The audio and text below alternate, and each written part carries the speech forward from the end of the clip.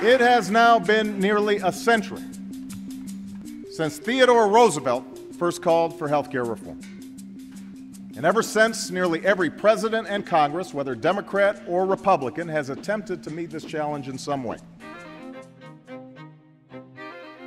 A national health plan was first proposed by Theodore Roosevelt in 1912. No country could be strong with sick and poor people, he said. Franklin Roosevelt was next to try. He hoped to include national health insurance in his 1935 plan for Social Security. After FDR was forced to drop it by a powerful medical lobby, Harry Truman was the next president to take up the cause, but his plan for universal coverage was killed by opposition scare tactics. No piece of unfinished business is more important or more urgent than the enactment under the Social Security system of health insurance for the aged. President Kennedy pushed to include health care under Social Security, and Lyndon Johnson continued the effort, successfully creating Medicare in 1965. Medicare changed everything. It proved the government could deliver real reform to help those in need.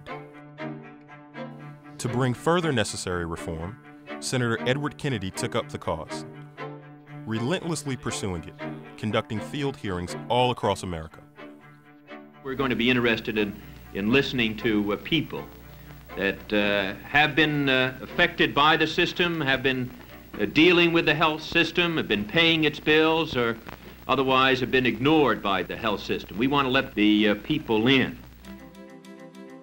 In 1969, uh, Senator Kennedy really gave his first challenge and appeal to the American people about the need to guarantee health care for all the citizens of America as a matter of right. And he was tireless throughout all the years since in being the leader in that fight. We cannot have a fair prosperity in isolation from a fair society. So I will continue to stand for a national health insurance.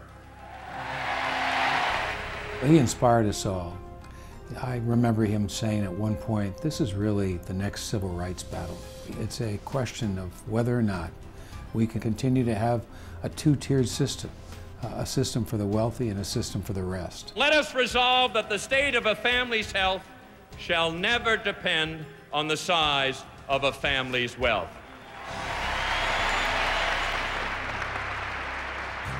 Well, Ted Kennedy uh, was uh, adamant, always, that people's opportunities in life should not be defined by the money they were born with or the status that they were born with, that people had to have uh, equal opportunity. At the center of almost all his work was the health care issue. On almost any subject matter he was involved in, it was never far from his thought process in terms of how this legislation would impact the quality of health for all Americans. As long as I have a voice in the United States Senate, it's going to be for that Democratic platform plank that provides decent quality health care, north and south, east and west, for all Americans as a matter of right and not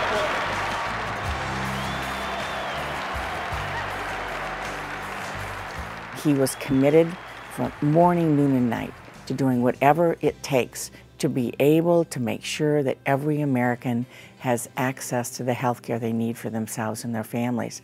In the greatest country in the world, shame on us that health care is something that families struggle with.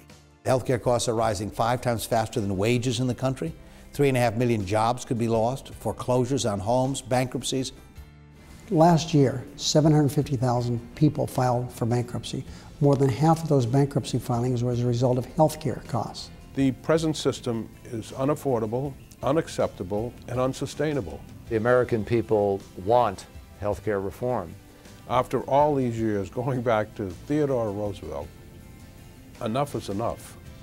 Many of those who came before us have tried to achieve what we're on the cusp of doing, and that is achieving the kind of national health coverage uh, that Americans have been long waiting for. This bill is a good deal for America. Reduces the deficit, will cover 98% of the people in this country. It will crack down and stop a lot of health insurance industry abuses, and it will, for the first time, provide enormous support for prevention and wellness to change the paradigm away from a sick care system to a true health care system in America. I think a lot of what's motivating us to get this bill, of course, number one is to help people who need the help and reform our system so that we'll have a good health care system in years to come. But Ted is up there looking down and smiling and saying, you can get this done. And I think that motivates every single one of us. We are going to build on the work, the tenacity, the passion, the commitment, and his challenge to us to never give up.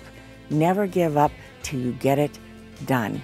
And when we're done, we're going to be able to look every American in the eye and say, yes, healthcare in America is your right, not a privilege. This is the cause of my life.